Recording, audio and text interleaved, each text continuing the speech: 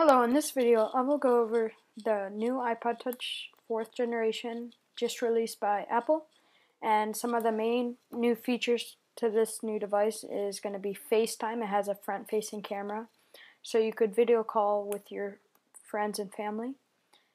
Also a retina display which was seen on the iPhone 4. This display really is remarkable. And you have a back camera which lets you record HD videos and it also has an A4 processor, uh, just like the iPhone 4, to speed up games and everything on the system will be a lot faster. Also, some other features. The battery life is 40 hour audio playback and 7 hour video playback. 3.56 ounces or 101 grams. The display is a 3.5 inch diagonal widescreen multi-touch display. if you want to purchase one, the 8 gigabyte version will cost $229, the 32 gigabyte for 299, and the 64 gigabyte for $399. Some features that I may not have said is the gyroscope and the iPod Touch will come with Game Center.